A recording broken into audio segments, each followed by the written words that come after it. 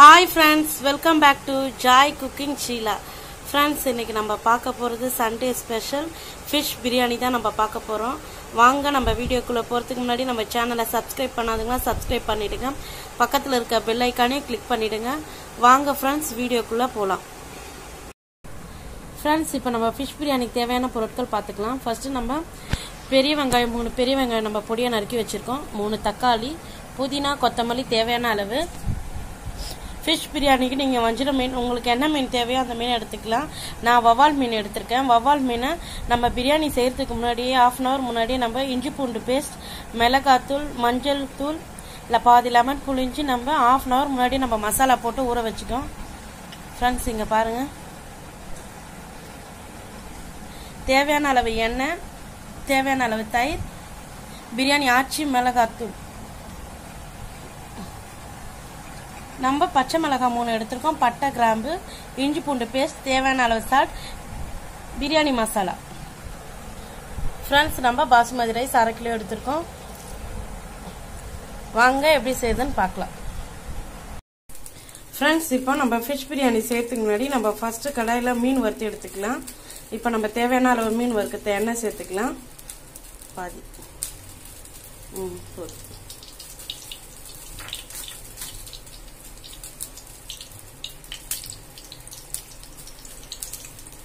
எண்ணெய் லைட்டாக நல்லா சூடாகட்டும். நம்ம ஃபிஷ் பிரியாணிக்கு நான் நெய் சேர்த்துக்கல. நம்மளுக்கு எண்ணெயே தேவையான அளவு கரெக்டாக இருக்கும். ஏன்னா ஃபிஷ் பிரியாணி நீங்கள் சிக்கன் பிரியாணி மட்டன் பிரியாணியில் நெய் சேர்க்கும் போது அது வேறு ஃப்ளேவர் ஃபிஷ் பிரியாணிக்கு நீங்கள் நெய் சேர்க்க வேணாம். எண்ணெயிலேயே நம்ம செஞ்சிடலாம். இப்போ நம்ம மீன் மசாலா போட்ட மீன் சேர்த்துக்கலாம். நம்ம மீனில் என்னென்ன போட்டிருக்கோன்னா தனி மிளகாத்தூள் இஞ்சி பூண்டு பேஸ்ட் பாதி லெமன் புளிஞ்சு தேவையான அளவு சால்ட்டு சேர்த்து நம்ம ஆஃப் அன் ஹவர் ஊற வச்சாதான் நம்மளுக்கு இந்த ஃபிஷ் பிரியாணி அவ்வளோ டேஸ்ட்டாக இருக்கும் நல்லா ஜூஸியாக இருக்கும்.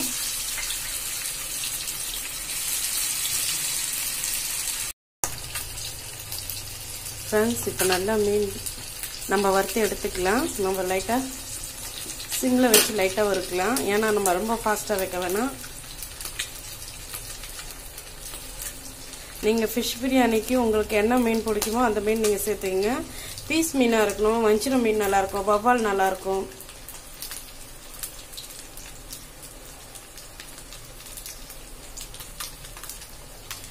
ஒரே ஸ்டைலில் பிரியாணி செய்யறதோட ஃபிஷ் பிரியாணி அவ்வளோ சூப்பராக இருக்கும். ஃப்ளேவர் அவ்வளோ சூப்பராக இருக்கும். கண்டிப்பாக நீங்கள் வீட்டில் ட்ரை பண்ணி பாருங்கள்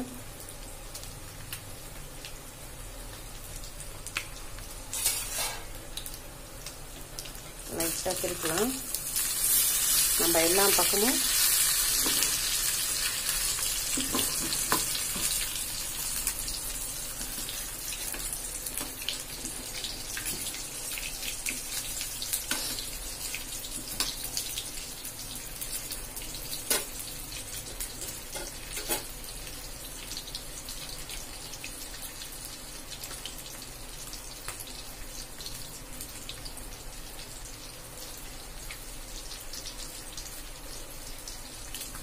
ஃபிஷ் ரொம்ப ரொம்ப நல்லது. குழந்தைங்களுக்கு கண்டிப்பாக வாரத்தில் ஒரு நாள் ரெண்டு நாள் நீங்கள் சேர்த்துக்குங்க.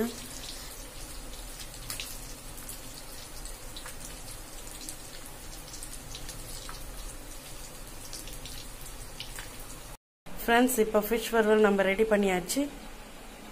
பாருங்கள் ரொம்ப நம்ம கிறிஸ்பியாக ரொம்ப கிறிஸ்பியாக வேணாம்.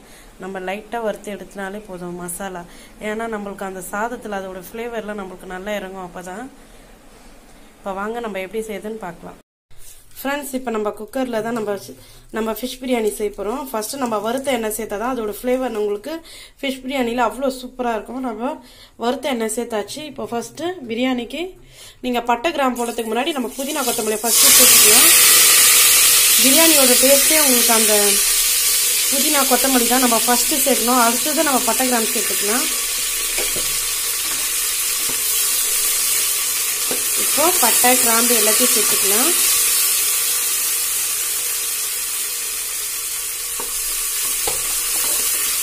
நல்லா வதங்கட்டும். இப்போ வெங்காயம் சேர்த்துக்கலாம்.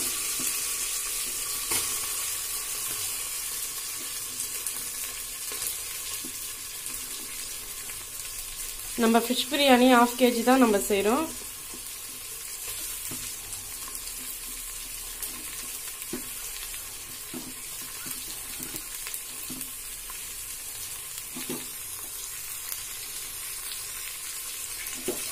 நம்ம ஒரு பிஞ்சு சால்ட்டு சேர்த்துக்கலாம். வெங்காயம் நல்லா வதங்கும். ஏற்கனவே நம்ம மீனில் மசாலா போட்டு தான் சால்ட்டு சேர்த்துருக்கோம். அதனால் நம்ம லைட்டாகவே சேர்த்துக்கலாம். இப்போ நல்லா கிளறிக்கலாம். வெங்காயம் நல்லா வதங்கும். இப்போ என்னென்ன சேர்த்துக்கணும் ஃபஸ்ட்டு நம்ம எண்ணெய் சேர்த்தோம். எண்ணெய் சேர்த்து புதினா கொத்தமல்லி பட்டை கிராம்பு வெங்காயம் சேர்த்துருக்கோம். இந்த ஃபிஷ் பிரியாணிக்கு நீங்கள் வறுத்த மீனோட எண்ணெய் சேர்க்கும் போது தான் அதோட ஃப்ளேவரே உங்களுக்கு சூப்பராக இருக்கும். கண்டிப்பாக அதே மாதிரி செஞ்சு பாருங்கள் இப்போ நல்லா வதங்கட்டும். ஃப்ரெண்ட்ஸ் இப்போ நல்லா வெங்காயம் வதங்கிச்சு இப்போ நம்ம இஞ்சி பூண்டு பேஸ்ட்டு சேர்த்துக்கலாம். பிரியாணிக்கு நீங்கள் ஃப்ரெஷ்ஷாக அரைச்சி சேர்த்துக்கங்க இஞ்சி பூண்டு. அவ்வளோ சூப்பராக இருக்கும். ஃப்ளேவர் உங்களுக்கு ரொம்ப ரொம்ப நல்லாயிருக்கும் கண்டிப்பாக நீங்கள் பிரியாணி செய்யும்போது ஃப்ரெஷ்ஷாக அரைச்சிக்கிங்க. இஞ்சி பூண்டு இன்னும் கொஞ்சம் சேர்த்துக்கலாம். இப்போ தக்காளி சேர்த்துக்கலாம்.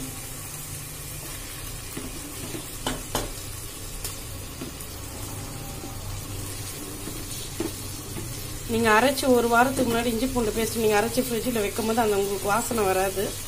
பிரியாணி கண்டிப்பாக நீங்கள் பிரியாணி செய்யணுன்னா எந்த கிரேவியாக இருந்தாலும் நீங்கள் ஃப்ரெஷ்ஷாக அரைச்சி சேர்த்து பாருங்கள் அவ்வளோ உங்களுக்கு நல்லாயிருக்கும். சிக்கன் கிரேவியாக இருந்தாலும் சரி. எல்லாத்துக்குமே ஃப்ரெஷ்ஷாக ஃப்ரெஷ்ஷாக நம்ம சேர்த்துக்கலாம். இப்போ நம்ம வெங்காயம் தக்காளி இஞ்சி பூண்டு பேஸ்ட் வதங்கிறதுக்கு முன்னாடி நம்ம மசாலா சேர்த்துக்கலாம். அப்போ உங்களுக்கு தக்காளி அதிலே வதங்கிடும். இப்போது தனி மிளகாத்தூள் ஒரு ஸ்பூன் சேர்த்துருக்கோம். தயிர். ஃப்ரெண்ட்ஸ் இப்போ நம்ம பிரியாணி மசாலா ஆச்சி பிரியாணி மசாலா சேர்த்துக்கலாம். ஒரு ஸ்பூன் நம்ம தனி மிளகாத்தூள் சேர்த்துருக்கோம். இப்போ ஒரு ஸ்பூன் பிரியாணி மசாலா ஆச்சி பிரியாணி மசாலா சேர்த்துருக்கோம். இப்போ தயிர் சேர்த்துக்கலாம். பச்சை மிளகாய் ரெண்டு சேர்த்துக்கலாம். தயிர் ஆஃப் கப் சேர்த்துக்கலாம். தயிர் நம்மளுக்கு சேர்க்கும் போது பிரியாணியோட ஃப்ளேவர் அவ்வளோ சூப்பராக இருக்கும். இப்போ நல்லா கிளறிக்கலாம் கிளறி மூடி வச்சிடலாம்.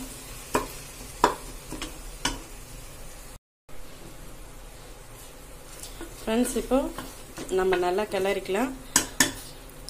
நம்ம ஃபஸ்ட்டு எண்ணெய் சேர்த்தோம். நம்ம எண்ணெய் சேர்த்து புதினா கொத்தமல்லி சேர்த்து நல்லா வதக்கிட்டு நம்ம பட்டை கிராம்பு சேர்த்தோம் வெங்காயம் சேர்த்தோம் தக்காளி சேர்த்தோம் இஞ்சி பூண்டு பேஸ்ட்டு சேர்த்தோம்.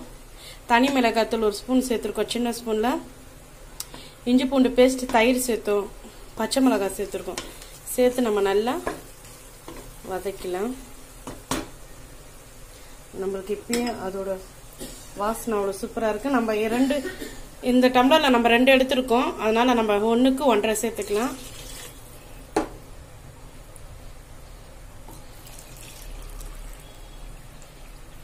ஃபுல்லாக ஒன்று ரெண்டு சேர்த்துனா நம்ம மூணு சேர்த்துக்கிறோம். இன்னும்.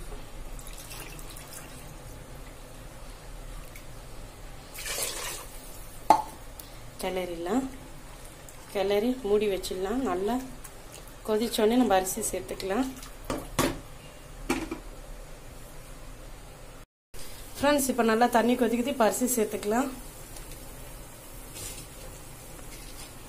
தண்ணி நம்ம நல்லா இருத்துட்டு போடலாம் ஏன்னா தண்ணியோட வேணாம்.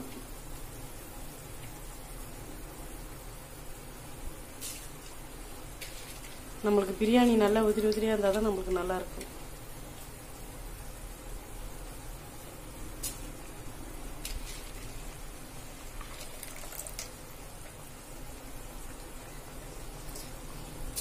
நம்ம அரிசி ஊற வைக்கிறதுனால நம்மளுக்கு ஒன்றுக்கு ஒன்றரை எடுத்துக்கிறோம். நீங்கள் அரிசி ஊற வைக்காத இருந்தீங்கன்னா நீங்கள் தக்காளி வெங்காயம் வதக்கும் போதே ஊற வச்சுருந்தீங்கன்னா நீங்கள் ஒன்றுக்கு ரெண்டு சேர்த்துக்கலாம். கரெக்டாக இருக்கும் உங்களுக்கு. நம்மளுக்கு அரிசி இருபது நிமிஷம் நம்ம ஊற வைக்கிறதுனால நம்மளுக்கு ஒன்றுக்கு ஒன்றரை கரெக்டாக இருக்கும்.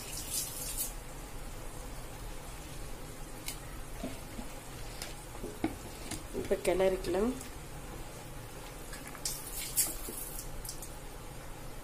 கிளறி இப்போ சால்ட் இருக்கு நம்ம கரெக்டாக சால்ட்டு சேர்த்துக்கலாம்.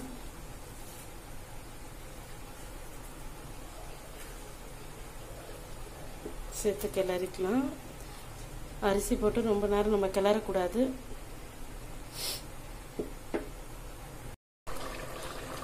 ஃப்ரெண்ட்ஸ் இப்போ நல்லா ஒரு பக்கம் நம்மளுக்கு வெந்துன்னு இருக்குது இன்னும் கண் தண்ணி லைட்டாக ஒரு ஒரு செகண்ட் நல்லா ஆகட்டும். தண்ணி இருந்துட்டோடனே நம்ம தம் போட்டுடலாம். ஒரு செகண்ட் மூடி வச்சிடலாம். ஃப்ரெண்ட்ஸ் இப்போ நம்ம தம் வைக்க போகிறோம் இப்போ நல்லா நம்ம மூடிடலாம். ஃபஸ்ட்டு நல்லா கிளறிக்கலாம். நல்லா எல்லா பக்கமும் கிளறி விட்டு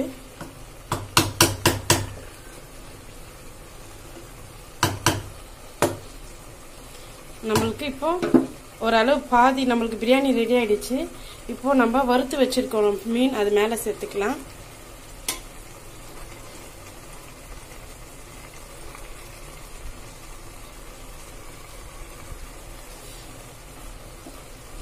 ஃப்ரெண்ட்ஸ் இங்கே பாருங்கள் இப்போ நம்ம மூடி வச்சுலாம் விசில் போட வேண்டியதில்லை.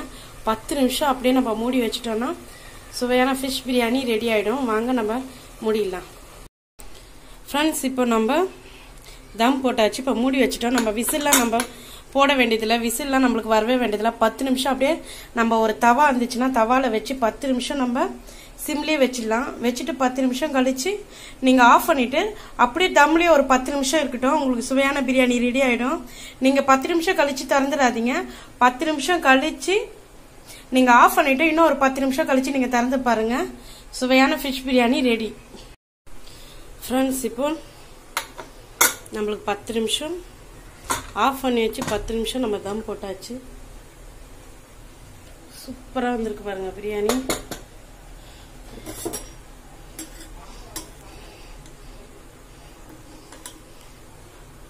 ஃப்ரெண்ட்ஸ் இப்போ நம்ம கிளற போகிறோம் இப்போ ஃபஸ்ட்டு நம்ம மேலே இருக்க ஃபிஷ்ஷை எடுத்துடலாம்.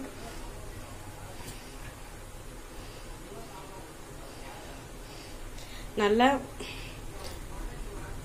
சூப்பராக வந்திருக்கு நம்மளுக்கு. ஃபிஷ் பிரியாணி அவ்வளோ வாசனாக இருக்குது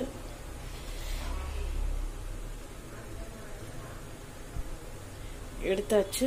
இப்போ எடுத்துட்டு சாதத்தை நம்ம கிளறலாம். ஏன்னா நம்ம மீனோடு சேர்த்து கலரணும்னா பாருங்கள் ஃப்ரெண்ட்ஸ் எவ்வளோ சூப்பராக வந்திருக்கு.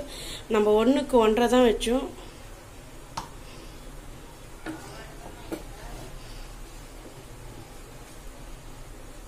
சூப்பரான ஃபிஷ் பிரியாணி ரெடி வாங்க பரிமாறும் போது பார்க்கலாம். எவ்வளோ உதிரி உதிரியாக வந்துட்டு பாருங்க. சூப்பராக வந்திருக்கு. ஃப்ரெண்ட்ஸ் சுவையான ஃபிஷ் பிரியாணி ரெடி